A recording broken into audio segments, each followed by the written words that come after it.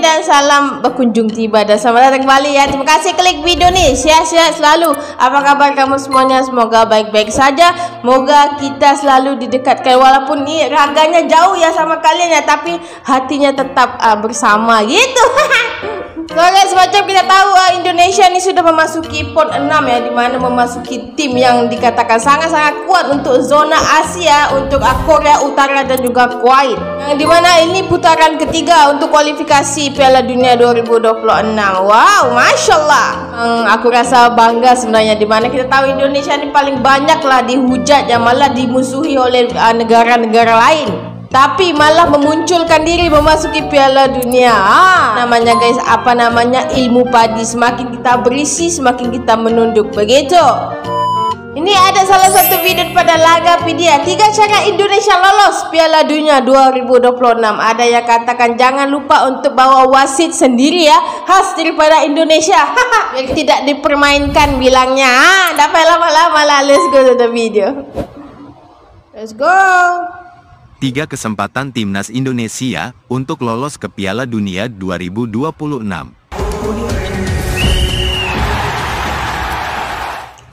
Kesempatan pertama, lolos otomatis. Indonesia memiliki tiga peluang utama untuk meraih tiket ke Piala Dunia 2026. Yang pertama adalah melalui jalur otomatis. Oh. Pada tahap ketiga kualifikasi, 18 negara akan berkompetisi dalam tiga grup yang berbeda, masing-masing terdiri dari enam negara. Hmm. Setiap tim akan menghadapi total 10 pertandingan, dengan 5 di kandang dan 5 di tandang. Oh. Jadwal pertandingan babak ketiga, kualifikasi zona Asia FIFA World Cup 2026, telah ditetapkan untuk berlangsung pada tanggal 5 dan tanggal 10 September tahun 2024, serta 10 dan tanggal 15 Oktober diikuti oleh pertandingan pada 14 dan tanggal 19 November. Untuk meraih tiket otomatis ke Piala Dunia 2026, Timnas Indonesia harus finish sebagai juara grup atau runner-up grup dalam tahap ini. Oh. Ini menempatkan tim dalam posisi strategis yang membutuhkan konsistensi dan performa terbaik agar dapat bersaing secara efektif di setiap pertandingan. Kena jadi Dengan demikian, ya. peluang untuk lolos secara otomatis adalah salah satu target utama yang diincar oleh timnas Indonesia dalam perjalanan mereka menuju ke Piala Dunia 2026. Kesempatan kedua, putaran keempat, kualifikasi Piala Dunia 2026, zona Asia. Hmm, ini keempat ini ya. Kesempatan kedua, bagi timnas Indonesia untuk meraih tiket ke Piala Dunia 2026, terletak pada putaran keempat kualifikasi zona Asia. Di babak kedua kesempatan, Timnas Indonesia harus melalui putaran keempat kualifikasi zona Asia sebagai upaya kedua dalam meraih tiket menuju Piala Dunia 2026. Oh. Jika dalam tahap sebelumnya, tidak berhasil menjadi juara atau runner-up group, skuad Garuda memiliki kesempatan untuk terus berkompetisi, tetapi dengan syarat harus Tapi menempati guys, posisi ketiga atau keempat. Menurutku ya, sebenarnya ini janganlah buang kesempatan emas yang sangat-sangat bersejarah ya menurutku. Dan terus kerja keras lah dan konsisten. Yang paling penting tu untuk jalan menuju final Piala Dunia ni bukan mudah ya. Sangat membutuhkan apa tu dukungan daripada uh, supporter-supporter Indonesia mahupun di Malaysia sini kalau misalnya uh, apa namanya Indonesia masuk untuk uh, Piala Dunia ah, itu memang oish tabik lah ya. Di grup tersebut setelah selesai tahap grup putaran ketiga, enam tim yang tersisa akan dibagi menjadi dua grup lagi dalam putaran keempat. Hmm. Untuk tim yang berhasil meraih posisi juara grup pada tahap ini, mereka akan langsung mendapatkan tiket ke Piala Dunia 2026 sebagai perwakilan dari Asia. Uh. Hal ini berarti bahwa, delapan dari total kuota wakil Asia di Piala Dunia sudah terisi, meninggalkan sedikit kesempatan bagi tim-tim yang tersisa untuk merebut tiket tersisa yang tersedia. Maka, setiap pertandingan dalam putaran keempat ini akan menjadi krusial bagi timnas Indonesia dalam mengejar impian mereka untuk tampil di panggung sepak bola paling bergengsi di dunia. Ush, bergengsi guys. Kesempatan ah! ketiga, playoff konfederasi benua. Playoff. Kesempatan ketiga timnas Indonesia untuk meraih tiket menuju Piala Dunia 2026 mengarahkannya ke babak playoff Konfederasi Benua, seandainya gagal melewati putaran ketiga dan keempat kualifikasi. Di tahap ini, Indonesia harus memenangkan babak playoff melawan tim-tim dari konfederasi benua lainnya untuk memastikan keberadaannya di Piala Dunia 2026. Proses seleksi peserta dari zona Asia untuk babak playoff ini akan melibatkan dua tim yang finish sebagai runner-up grup dalam putaran keempat kualifikasi.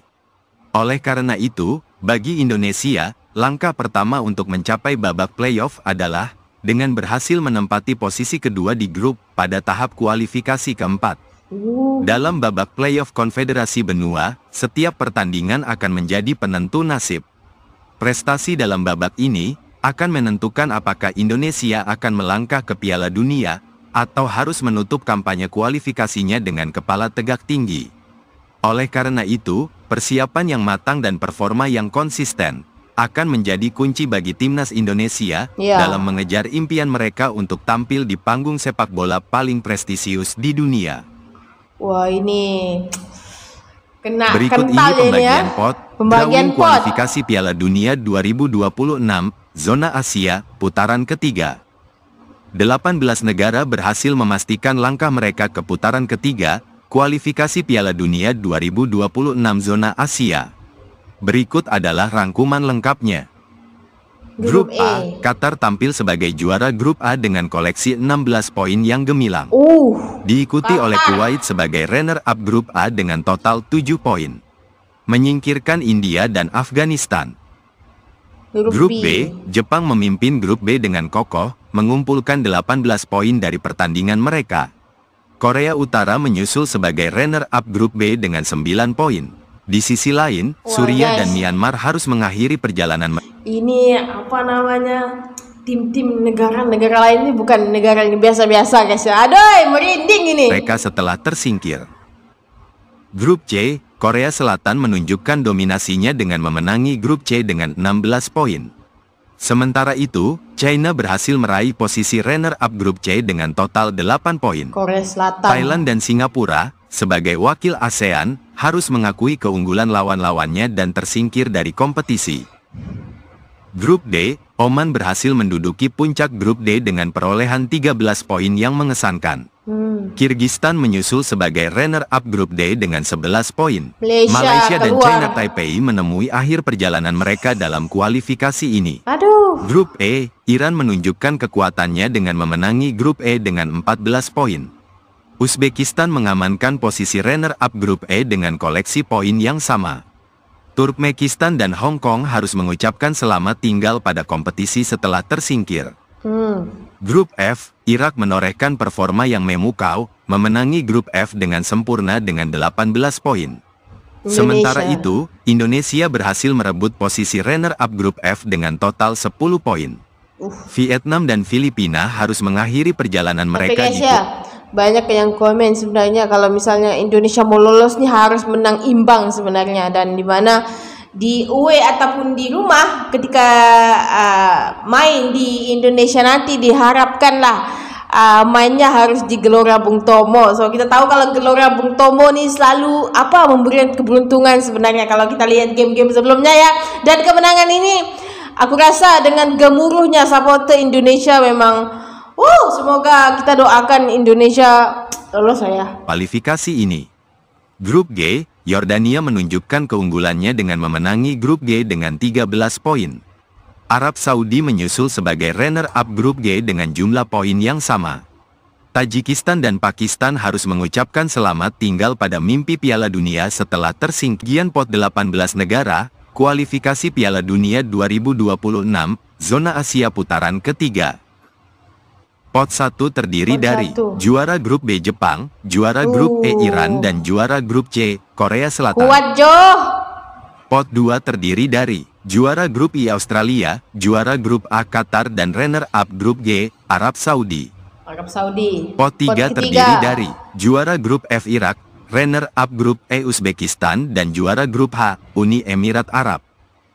Pot 4 terdiri dari juara grup G Yordania, juara grup D Oman dan runner-up grup H Bahrain. Pot 5 terdiri dari runner-up grup C China, runner-up grup I Palestina, dan runner-up grup D. Kyrgyzstan.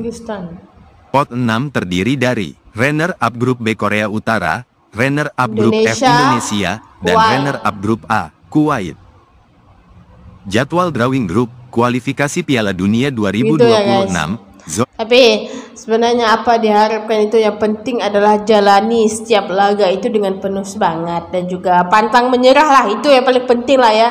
Dan sebenarnya kita kena harus tetap optimis lah di mana uh, disertai doa dan usaha juga ya guys. Sebab kita tahu namanya ini Piala Dunia menentang uh, tim-tim yang akan datang itu bukan tim yang kecil ya. Tim ini juara-juara semuanya guys. Asia putaran ketiga akan digelar pada hari Kamis, tanggal 27 Juni Oh. tahun 2024.